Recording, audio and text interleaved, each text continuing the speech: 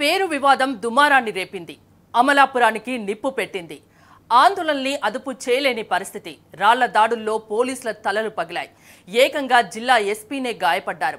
వ్యూహాత్మకంగా జరిగిన ఆందోళన పోలీసులు ఊహించని విధంగా హింసాత్మకమైంది.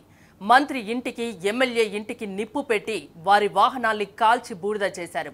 ఆందోళన ఇక ఆగదు అనుకున్నారు.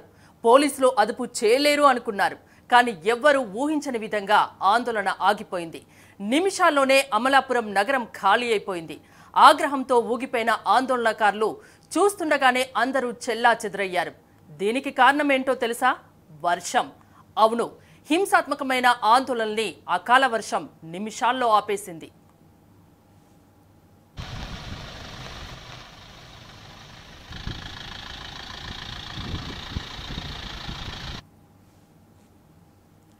అమలాపురంలో ఇప్పుడు ప్రశాంత వాతావరణం కనిపిస్తోంది.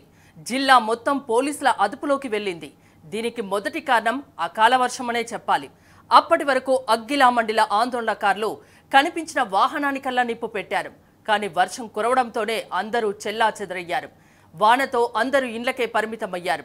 దీంతో ఆందోళనల్ని అదుపు చేయడం పోలీసులకు సులువైంది. వర్షం పోలీసులకు సాయం చేసినట్టయింది.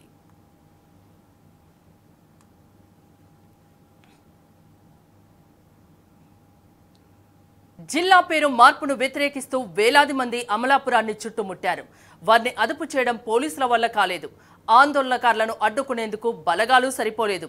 జనం ఎక్కడి నుంచి వస్తున్నారు ఏ దారిలో వస్తున్నారు అన్నది అంచనా వేయలేకపోయారు. వాట్సాప్ గ్రూపుల్లో సమాచారం ఇస్తూ దారులు మారుస్తూ అందరూ కలెక్టరేట్ను చేరుకున్నారు. మరికొన్ని గ్రూపులు ఎమ్మెల్యే ఇంటిని ముట్టడించాయి. ఇంకొందరు మంత్రి విశ్వరూప్ ఇంటి మీద పడ్డారు. గ్రూపులు గ్రూపులుగా విడిపోవడంతో ఎవరిని ఎలా అదుపులోకి తీసుకురావాలో పోలీసులకు అర్థం కాలేదు. అందుకే విధ్వంసం ఊహించనంత ఎత్తుకు చేరింది. అనుకోని అనర్థాల్ని సృష్టించింది.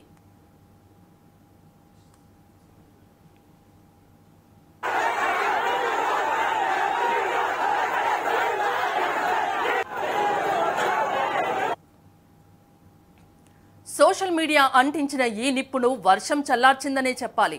పోలీసులు కూడా అదుపు చేయలేని ఆందోళనల్ని వాన అడ్డుకుందని చెప్పక తప్పదు.